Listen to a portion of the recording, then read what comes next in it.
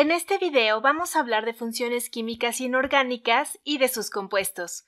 Todos usamos compuestos químicos en nuestra vida cotidiana, como la sal de mesa o algunos ungüentos para curar heridas. Algunos compuestos tienen propiedades químicas y composiciones en común. Esto es algo que los va a diferenciar de otros.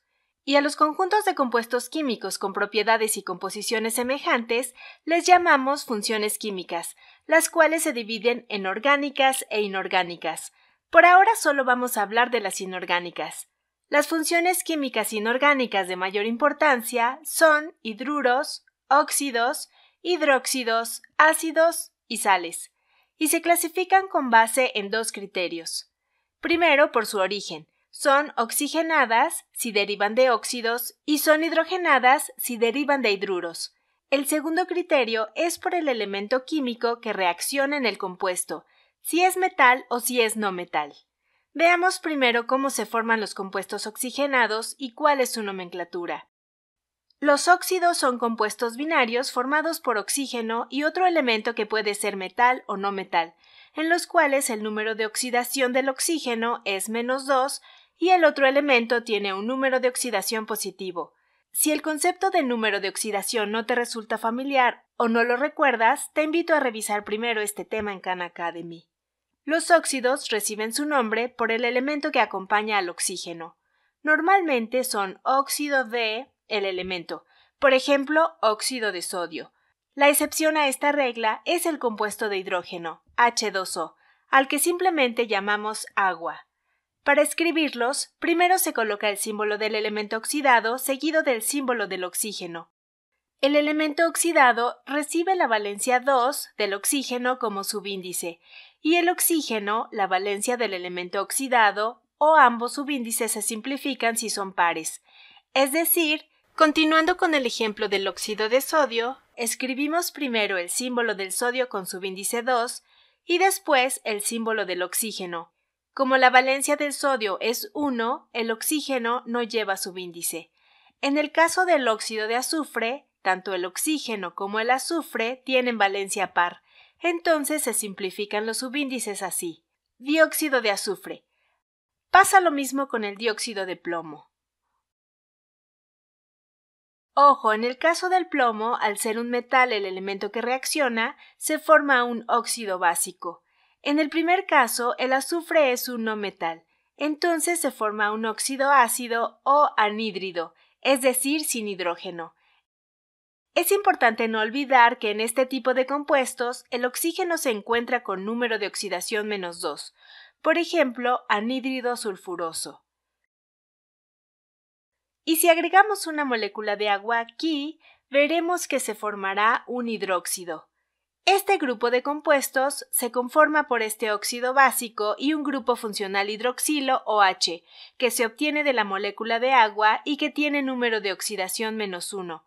A los hidróxidos de los metales alcalinos como litio, sodio, potasio, rubidio y cesio se les llama álcalis.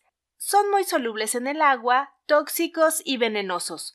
Los hidróxidos poseen propiedades básicas, por ello se les llama también bases. La nomenclatura tradicional de los hidróxidos se realiza de forma similar a la de los óxidos básicos.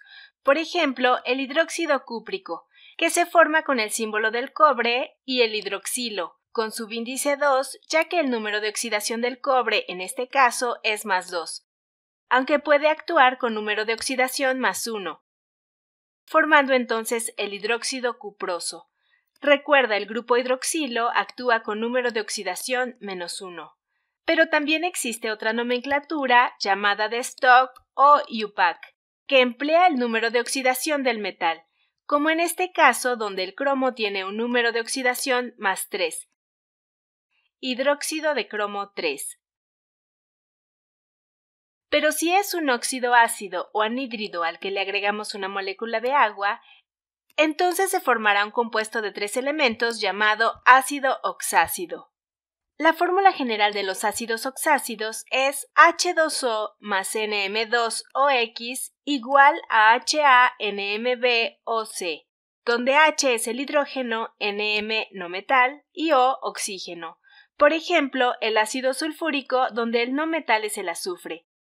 La nomenclatura de los oxácidos, así como la de los óxidos e hidróxidos, se basa en la nomenclatura tradicional que relaciona la valencia del no metal con un prefijo y un sufijo, como aparecen en esta tabla. Para las valencias 1 y 2, el prefijo es hipo y el sufijo oso, como en el anhídrido hipoyodoso. Con valencias de 3 y 4 no hay prefijo, y el sufijo es oso, por ejemplo, anhídrido yodoso. Para valencia 5 y 6, el sufijo es ico, como el anhídrido yódico, y para valencia 7, el prefijo es per y el sufijo ico, como en anhídrido periódico.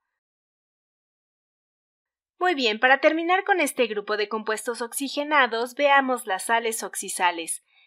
Cuando un oxiácido y un hidróxido reaccionan, se neutralizan y forman una oxisal más agua es decir, el hidrógeno del oxiácido se sustituye con el ion metálico como sodio, o no metálico como amonio, y así se forma una oxisal. Estas pueden ser neutras si todos los hidrógenos son sustituidos, ácidas si solo se sustituye parte de los hidrógenos, básicas si solo se sustituye una parte del grupo hidroxilo o H, dobles si el oxiácido reacciona con dos hidróxidos distintos, e hidratadas cuando poseen moléculas de agua de hidratación o cristalización.